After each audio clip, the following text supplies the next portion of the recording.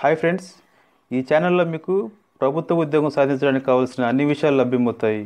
మీరు ఇంతవరకు ఈ ఛానల్కి సబ్స్క్రైబ్ చేయనట్లయితే కింద ఉన్న రెడ్ కలర్ బటన్పై క్లిక్ చేయండి. అట్లాగే పక్కనే ఉన్న బెల్ ఐకాన్పై క్లిక్ చేయండి. హాయ్ అండి. హాస్టల్ వెల్ఫేర్ ఆఫీసర్ సంబంధించి పేపర్ టూ సిలబస్ చెప్పమని కొంతమంది అడుగుతున్నారు. సో ఈ వీడియోలో మనం పేపర్ టూ సిలబస్ సంబంధించి చూద్దాము. అట్లాగే నోటిఫికేషన్ వివరాలు కూడా మన ఛానల్ అందుబాటులో ఉన్నాయి. సో ఈ పేపర్ టూకి సంబంధించి మనం సిలబస్లోకి వెళ్తే ముందుగా ఎగ్జామినేషన్స్ అవి రెండు ఉంటాయి. స్క్రీన్ టెస్ట్ అనేది ట్వంటీ ఫైవ్ థౌజండ్ దాటితేనే ఉంటుంది. So maximum twenty five thousand రాకపోవచ్చు. అందుకని వీళ్ళు డైరెక్ట్గా మెయిన్ ఎగ్జామ్ కండక్ట్ చేస్తారు. సో ఇక్కడ పేపర్ వన్ పేపర్ టూ రెండు ఉంటాయి. పేపర్ వన్ వచ్చేసి general studies and mental ability ఇది వన్ ఫిఫ్టీ మార్క్స్కి ఉంటుంది. అట్లాగే పేపర్ టూ వచ్చేసి ఎడ్యుకేషన్ డిగ్రీ స్టాండర్డ్లో ఉంటుంది. ఇది వన్ ఫిఫ్టీ మార్క్స్కి ఉంటుంది. మొత్తం మీద త్రీ హండ్రెడ్ మార్క్స్కి ఉంటుంది. ప్రతి పేపర్లోనూ one by third negative marks ఉంటాయి. ఈ విధంగా రెండు పేపర్లు ఉంటాయి. సో పేపర్ టూలోకి వెళ్తే ఎడ్యుకేషన్ డిగ్రీ స్టాండర్డ్లో ఉంటుంది అనుకున్నాం కదా. ఇక్కడ మొత్తం మూడు పార్ట్లు ఉంటాయి. Part A part B part C ఈ విధంగా ఉంటాయి. సో పార్ట్ ఏలో నాలుగు పార్ట్లు సబ్ పార్ట్స్ ఉంటాయి. అట్లాగే పార్ట్ బిలో ఐదు సబ్ పార్ట్స్ ఉంటాయి. అట్లాగే పార్ట్ సిలో పదహారు సబ్ పార్ట్లు ఉంటాయి. మనం ఈ వీడియోలో పార్ట్ ఏ పార్ట్ బి చూద్దాము. పార్ట్ సి అనేది నెక్స్ట్ వీడియోలో చూద్దాము. సో పార్ట్ ఏలోకి వెళ్తే ముందు ఫౌండేషన్ ఆఫ్ ఎడ్యుకేషన్ ఇక్కడ మొత్తం నాలుగు సపోర్ట్లు ఉన్నాం కదా. ఇక్కడ ఫస్ట్ సపోర్ట్ వచ్చేసి nature and scope of philosophical and foundations of education nature and scope of philosophical and sociological foundation of education so ఈ విధంగా దీన్ని ఫిలాసఫికల్ పరంగా అట్లాగే సోషలాజికల్ పరంగా ఎడ్యుకేషన్ అనేది ఏ విధంగా ఉన్నది ఈ ఫస్ట్ పార్ట్లో మనం తెలుసుకోవాల్సి ఉంటుంది. అట్లాగే సెకండ్ పార్ట్లోకి వెళ్తే idealism naturalism pragmatism realism existentialism ఈ విధంగా ఆదర్శవాదం అట్లాగే న్యాచురలిజం గురించి వ్యవహారిక సత్తావాదం గురించి రియలిజం గురించి అట్లాగే అస్తిత్వవాదం గురించి ఈ సెకండ్ పార్ట్లో మనం తెలుసుకోవాల్సి ఉంటుంది. సో సో తర్వాత థర్డ్ పార్ట్లోకి వెళ్తే కొంతమంది వ్యక్తుల గురించి తెలుసుకోవాల్సి ఉంటుంది. వాళ్ళు ఎవరంటే గాంధీ గారి గురించి అట్లాగే ఠాగూర్ గారి గురించి అరబిందో గారి గురించి వివేకానంద గారి గురించి జిడ్డు కృష్ణమూర్తి గారి గురించి వాళ్ళ గురించి తెలుసుకోవాల్సి ఉంటుంది ఈ థర్డ్ పార్ట్లో. సో తర్వాత ఫోర్త్ సబ్ పార్ట్లోకి వెళ్తే socialization and education. Social change and education. Culture and education. Modernization and education. Equality of educational opportunities ఈ education of weaker sections so తెలుగులో చూస్తే మన ఈ పార్ట్ని సాంఘికీకరణ మరియు విద్య అట్లాగే సామాజిక మార్పు మరియు విద్య సంస్కృతి మరియు విద్య ఆధునికీకరణ మరియు విద్య విద్యా అవకాశాల సమానత్వం ఏ విధంగా ఉంది అట్లాగే బలహీనమైన విభాగాల్లో విద్య అనేది ఏ విధంగా ఉంది ఈ విధంగా మనం చూసుకోవాల్సి ఉంటుంది. సో పార్ట్ ఏలో అయిపోయింది. ఇప్పుడు పార్ట్ బీలోకి వెళ్ళినట్లయితే ఎడ్యుకేషనల్ సైకాలజీ గురించి ఈ పార్ట్ బి అనేది ఇచ్చున్నారు సో ఇక్కడ మొత్తం పార్ట్ బిలో ఐదు పార్ట్లు అనుకున్నాం కదా. సో ఫస్ట్ పార్ట్ చూసుకున్నట్లయితే ఇంట్రడక్షన్ టు ఎడ్యుకేషనల్ సైకాలజీ విద్య సైకాలజీకి పరిమాణ పరిచయం. అంటే సైకాలజీ విద్యకు సంబంధించి సైకాలజీ యొక్క పరిచయం అనేది ఫస్ట్ పార్ట్లో చూసుకోవాలి.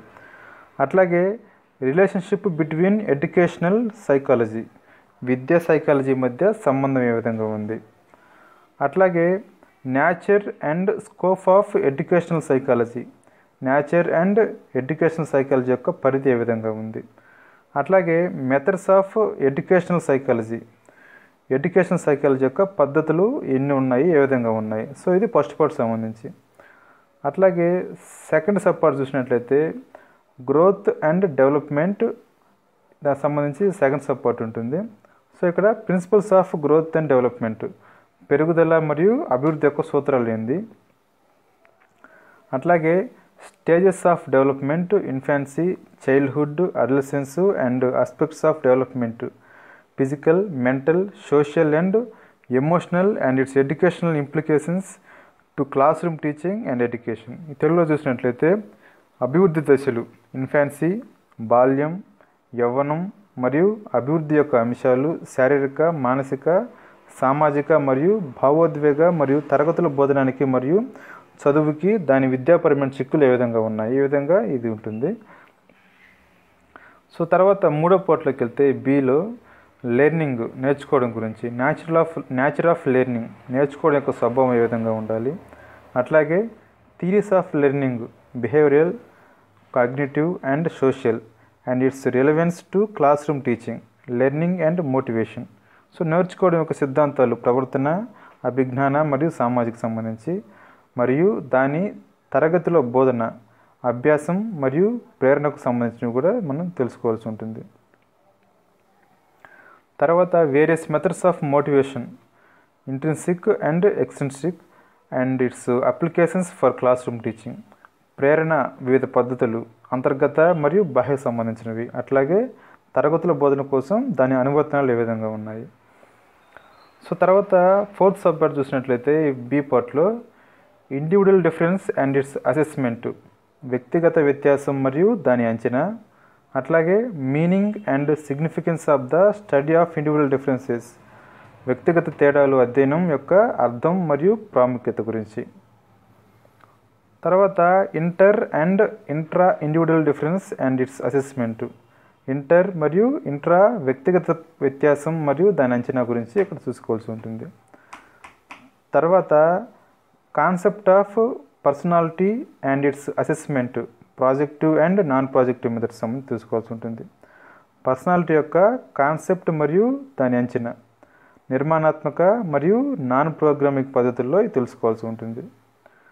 అట్లాగే understanding and helping learners with special needs poor achievers under అచీవర్స్లో level of intellectual functioning so ప్రత్యేక అవసరాల అభ్యాసకులను గ్రహించుట మరియు సహాయం చేయటం ఏ విధంగా ఉండాలి అట్లాగే పూర్ అచీవర్స్ గురించి అండర్ అచీవర్స్ గురించి తక్కువ స్థాయి మేధో పనితీరు ఏ విధంగా ఉంటుంది కూడా ఇక్కడ మనం తెలుసుకోవాల్సి ఉంటుంది అట్లాగే giftedness and creativity need and significance of guidance and counselling in schools so ఇక్కడ బహుమానం మరియు సృజనాత్మకత పాఠశాలల్లో మార్గదర్శకత్వం మరియు సలహాల అవసరం మరియు ప్రాముఖ్యత గురించి తెలుసుకోవాల్సి ఉంటుంది ఇక్కడ. సో ఇంకా బీ పార్ట్లో లాస్ట్ చివరిగా స్టాటిస్టిక్స్ గణాంకాల గురించి. Statistics concept and its need for understanding behaviour of learners and teachers so ఇక్కడ గణాంకాలు కాన్సెప్ట్ మరియు అభ్యాసకులు మరియు ఉపాధ్యాయుల ప్రవర్తనకు సంబంధించిన అవగాహన అవసరం. సో అట్లాగే methods of central tendency central ధోరణి యొక్క చర్యల గురించి అట్లాగే మెథడ్స్ ఆఫ్ వేరియబిలిటీ వ్యత్యాసాల కొలతల గురించి అట్లాగే correlation and various methods of computing and correlation. So సహసంబంధం మరియు కంప్యూటింగ్ సహసంబంధం యొక్క వివిధ పదాల గురించి కూడా తెలుసుకోవాల్సి ఉంటుంది. సో ఇదండి హెచ్డబ్ల్యూకి సంబంధించి పేపర్ టూ లో ఏ మరియు బి పార్ట్లకు సంబంధించి మరొక వీడియోలో సి పార్ట్ గురించి చూద్దాము. మరిన్ని అప్డేట్స్ కోసం ఛానల్ని తప్పక సబ్స్క్రైబ్ చేసుకోండి. Thank you